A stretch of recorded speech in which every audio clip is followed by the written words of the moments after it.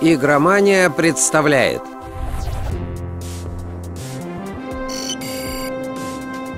Десятка самых-самых. Наш ежемесячный произвольный топ на совершенно любые игровые темы. Десятка — это повод вспомнить самые знаковые моменты видеоигр. Десятка — еще одна причина смахнуть ностальгическую слезу по былым временам Десятка — отличный шанс узнать, что нечто важное в жизни уже было упущено. 10 главных стимпанковых игр.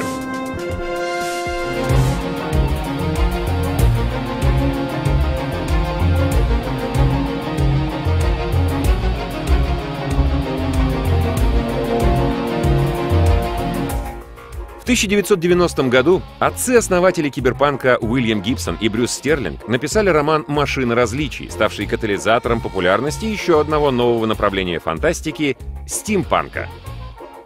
На страницах книги информационный век наступил на целое столетие раньше, чем в реальности, благодаря тому, что знаменитый математик Чарльз Бэббидж создал своеобразный аналог компьютера, работающий на пару.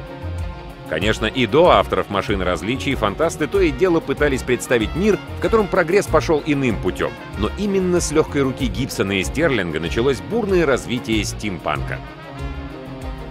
Главными его атрибутами стали технологии, зачастую весьма продвинутые, но работающие на принципах, которые были известны в конце 19 века, а также ретро-стилистика, заимствованная у соответствующей эпохи. Сегодня стимпанк уже не просто направление фантастики. Это полноценная субкультура с собственной литературой, конвентами и музыкой. Естественно, не обошлось и без игр, лучшие из которых мы решили вспомнить.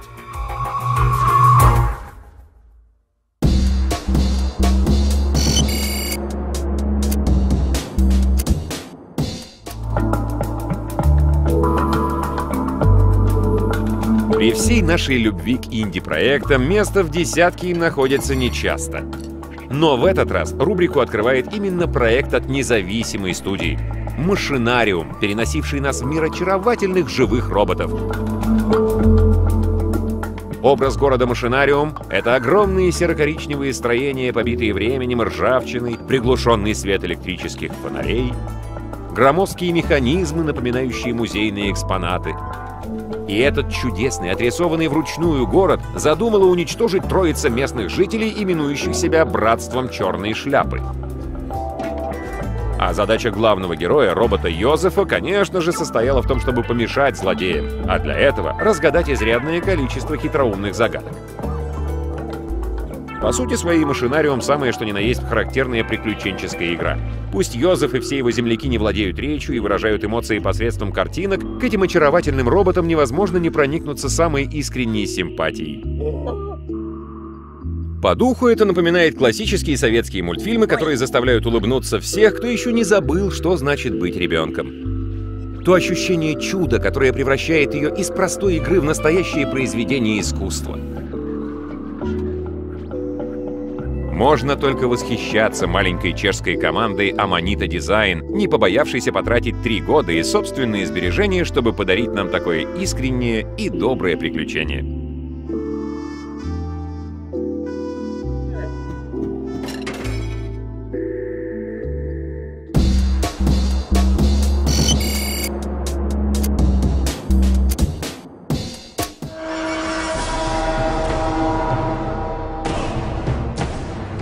2005 году японская компания Semi Corporation решила уйти с западного рынка и сосредоточиться на играх для страны восходящего солнца.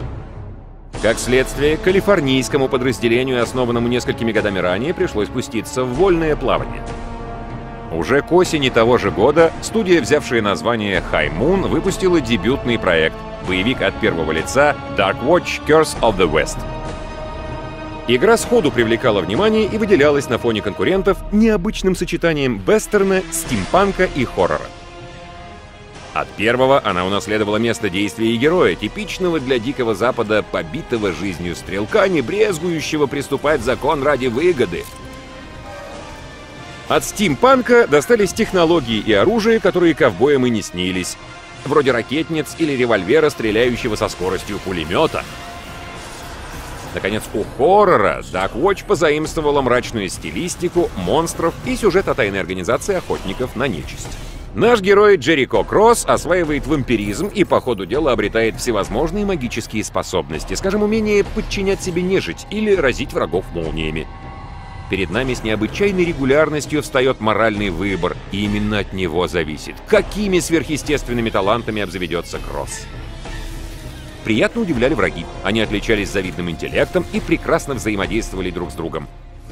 Но в полной мере реализовать потенциал Dark Watch разработчикам не удалось. Так одиночная кампания оказалась слишком короткой, сценарию не доставало оригинальности, а потребность использовать сверхспособности возникала не так уж часто. Но даже несмотря на это, Dark Watch по праву стал одним из наиболее самобытных консольных боевиков эпохи PS2 и Xbox. Изначально разработчики планировали превратить проект в масштабную мультимедийную франшизу. Действие следующих игр должно было разворачиваться в иные эпохи, например, во времена Древнего Рима и крестовых походов. Однако ни один издатель сиквелом не заинтересовался, и студия взялась за игры по лицензиям вроде «Трансформеров».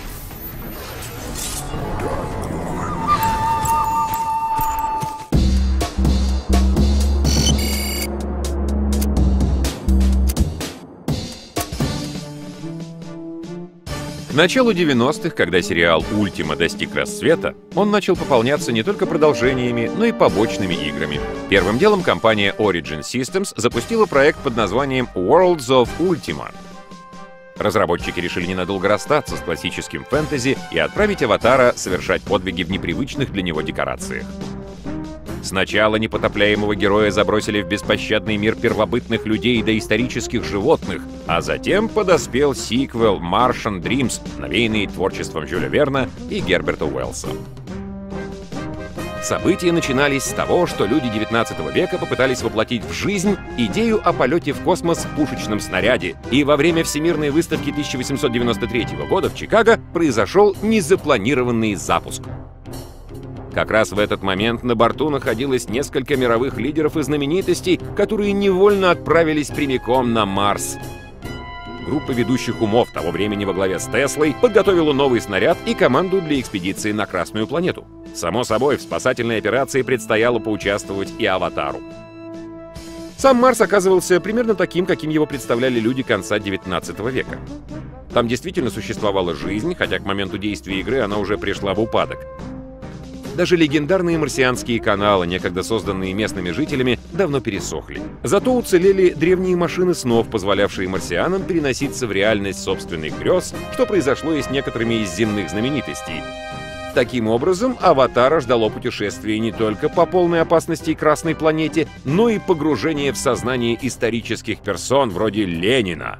И это не говоря уже о том, что попутно требовалось создать новую космическую пушку для возвращения на Землю и выяснить, кто же стоял за злосчастным первым выстрелом.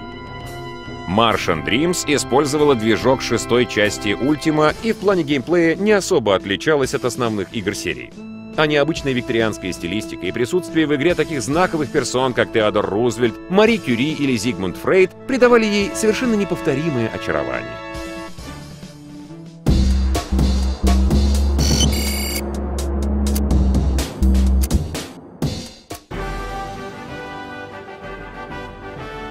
Кажется, за всю историю компьютерных игр лишь однажды случилось так, что несостоявшаяся компьютерная игра дала рождение настолке, а та, в свою очередь, породила несколько удачных игровых адаптаций.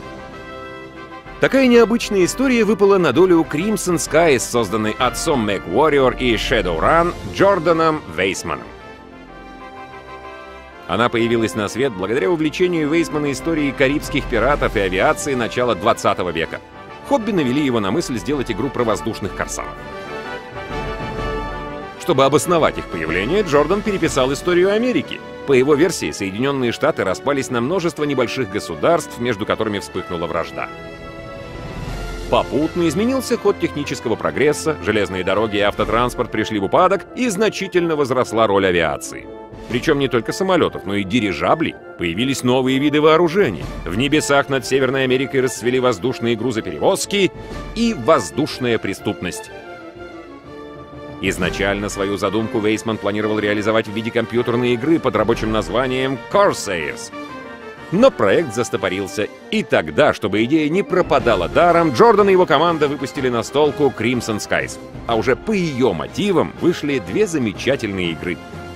Первая из них, озаглавленная просто Crimson Skies, вышла в 2000 году эксклюзивно для PC. Это был аркадный авиасимулятор с динамичными воздушными сражениями, сочной картинкой и отличной атмосферой, заимствованной из бульварных романов начала прошлого столетия. Особую изюминку привносило то, что летали мы на самолетах, вдохновленных экспериментальными образцами 30-х годов, но при этом вооружены они были фантастическим оружием вроде электропушек Тесла. Спустя три года вышло продолжение — High Road to Revenge, правда, уже только для приставки Xbox.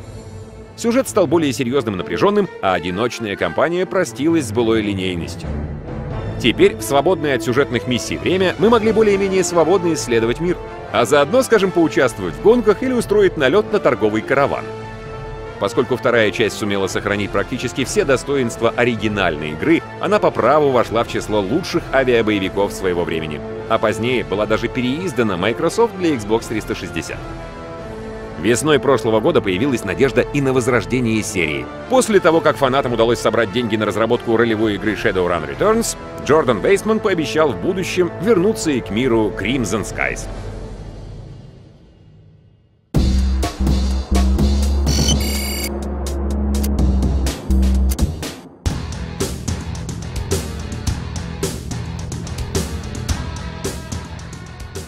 Изредка бывает так, что особенно самобытные игры не находят признания как раз из-за своей оригинальности.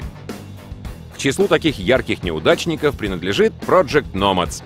Совершенно невероятный гибрид стратегии, боевика, РПГ и даже аркадного авиасимулятора.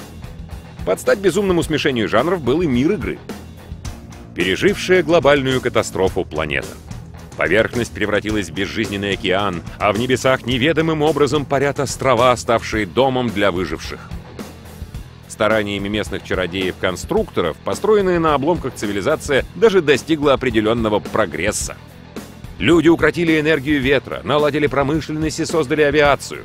Но только-только вставшая на ноги цивилизация оказалась во власти коварных стражей, которые пленили магов и попытались навязать свою волю всем прочим жителям планеты Айрис. Избежать печальной участи удалось лишь вольным странникам небес, бродягам, в числе которых и наш протагонист. Ему посчастливилось не только уцелеть, но и познакомиться с живым конструктором, а также заполучить собственный летающий остров. Имея в распоряжении такую махину, стоило замахнуться на освобождение всего Айриса от иго-стражей. А для этого чем только не приходилось заниматься. И обустраивать свой необычный авианосец, и осваивать ремесло канонира, и участвовать в воздушных баталиях за штурвалом самолета. Да и без самых обычных перестрелок борьба за свободу, конечно же, не обходилась. На редкость разнообразный геймплей и совершенно неповторимый, очень притягательный мир вполне могли послужить пропуском в пантеон великих. Но увлекшись оригинальностью, разработчики оставили без внимания массу практических деталей, что в итоге помешало игре снискать широкое признание.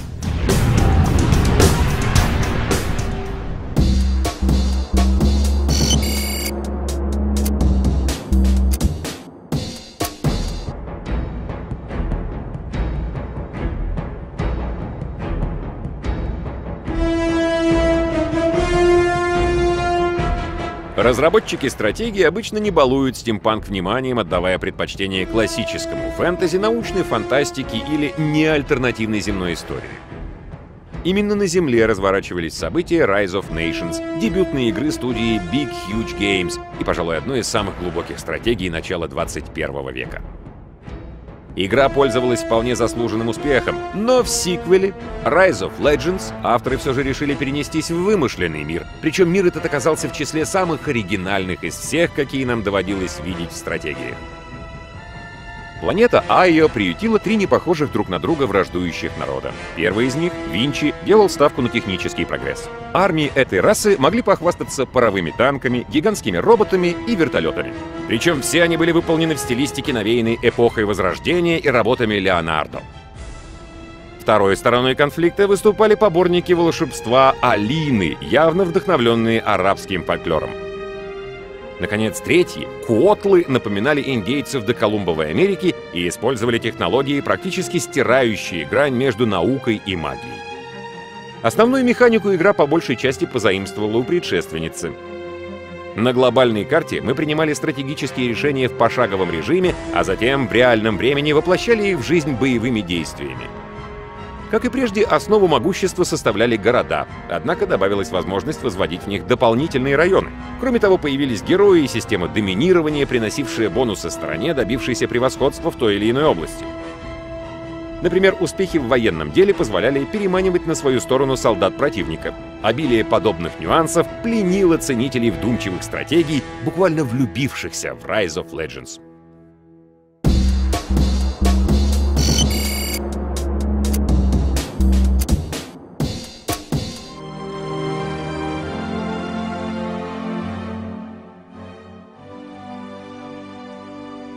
К концу 90-х годов рисованные приключения как жанр стали терять популярность. Многие компании, включая даже таких мастодонтов, как LucasArts и Sierra, фактически поставили на них крест. Но, похоже, поторопились. В игровую индустрию пришел известный автор графических новелл Бенуа Сакаль. Он начал сотрудничество с французской студией Microids, и вскоре его свежий взгляд и годами отточенный художественный вкус воплотились в невероятно атмосферной игре «Сайбирия». Поначалу ничто в ней не намекало на принадлежность к стимпанку. Главная героиня, американская адвокатесса Кейт, отправляется во французскую глубинку, чтобы завершить сделку по приобретению местного завода игрушек. Однако, вместо того, чтобы быстро разделаться с формальностями, ей предстоит невероятное путешествие в поисках владельца. Причем транспортом нашей героини служит поезд, созданный мастером игрушек. Садясь в вагон, Кейт оставляет за спиной все обыденное и делает первый шаг в мир, где оживают механизмы и, кажется, возможны любые чудеса. Потрясающий видеоряд не оставлял сомнений, что творцом этой игры был настоящий художник. Местные пейзажи и архитектура поражали красотой и были совершенно не похожи на все, что мы видели прежде. К тому же Сайбирия предлагала поклонникам не только интересные логические задачки, но и по-настоящему проникновенную, эмоциональную историю, пробирающую до глубины души. Бенуа Сакаль признавался, что все похождения Кейт предполагалось уместить в одну игру, но дизайнер недооценил размах идей, и сюжет пришлось разбить на две части. Впрочем, концовка «Сайбирия 2» оказалась настолько двусмысленной, что автора немедленно растерзали вопросами о возможном продолжении. И вот в 2009 году официально анонсировали третью часть, но работы над игрой начались лишь в конце прошлой осени. Так что «Сайбирия 3», по видимости, мы ждем не раньше 2014 года.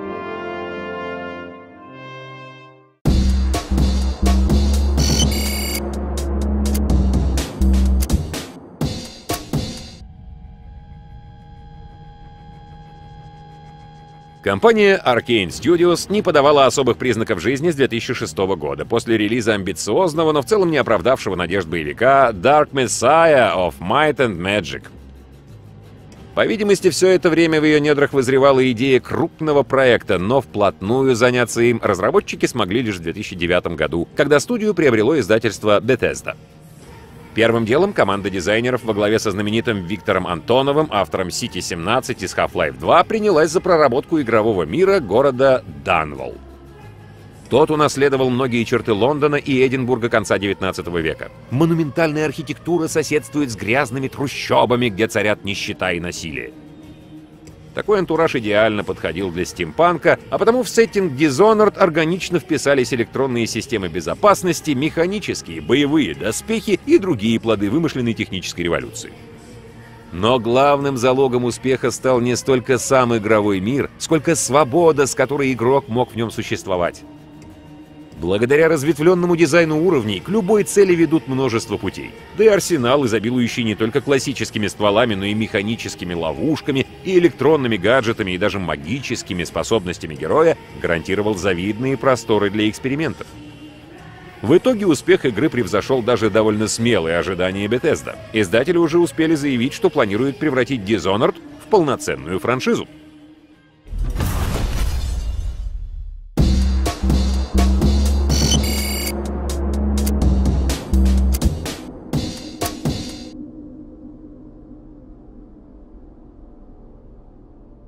В мае 2000 года стало известно о закрытии компании Looking Glass Studios, подарившей нам такие шедевры, как System Shock и Thief the Dark Project. Незадолго до исчезновения студия успела выпустить еще одну блестящую игру. Вторую часть приключений вора Гаррета. При этом разработчики пошли путем, которого многие их коллеги предпочитают избегать. Прислушались к отзывам игроков. Именно благодаря советам поклонников в FIF 2 практически не осталось миссий, где можно было бы положиться на грубую силу. Также заметно снизилась концентрация мистики и число сверхъестественных противников, а мир стал более технологичным. Даже в первой части уже присутствовали некоторые атрибуты стимпанка, однако по стилю и духу она все же была ближе к классическому фэнтези. Во второй системы безопасности пополнились камерами и искусственными стражами, а в арсенале Гаррета появились такие гаджеты, как механический глаз или крохотные роботы-разведчики. Да и противостоял мастер Вор на сей раз некой квазирелигиозной организации механиков, которая вынашивала планы по капитальному переустройству мира. Уровни стали больше и запутаннее, враги заметно поумнели, словом, разработчики сумели поднять планку качества на еще более высокий уровень. Прежде чем окончательно хлопнуть дверью, Looking Glass Studios создала один из лучших стелс-боевиков и по совместительству одну из наиболее примечательных стимпанковых игр.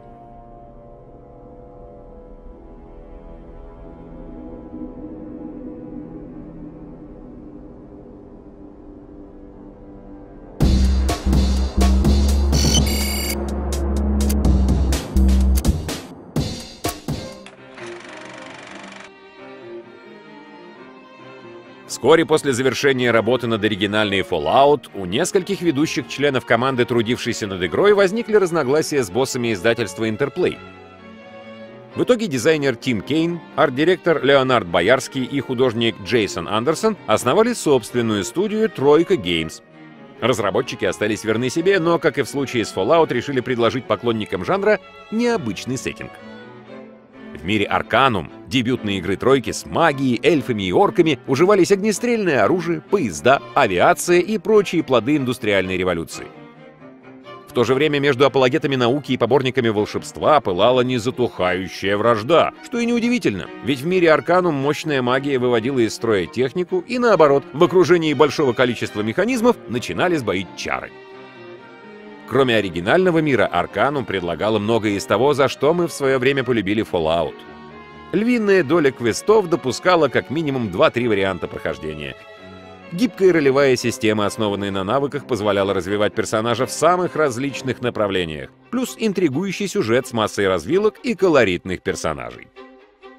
Однако, при всех своих достоинствах игра была далеко не безупречна, Графика даже по тем временам смотрелась невзрачно, баланс ролевой системы оставлял желать лучшего, а искусственный интеллект не всегда вел себя адекватно. Подкачала и боевая механика, которая позволяла вести сражения на выбор в реальном времени в пошаговом режиме или в ускоренной версии последнего. Предполагалось, что таким образом каждый игрок сможет найти себе вариант по вкусу. На поверку же все три режима получились довольно сырыми. Тройка была полна решимости провести работу над ошибками, но, увы, приказала долго жить, прежде чем Journey of to the Center of Arcanum увидела свет. Пусть игре не доставала полировки, и она так и не получила продолжения, но другого, настолько живого, запоминающегося и богатого деталями стимпанкового мира мы не видели ни в одной другой игре. Безусловное первое место в нашей десятке.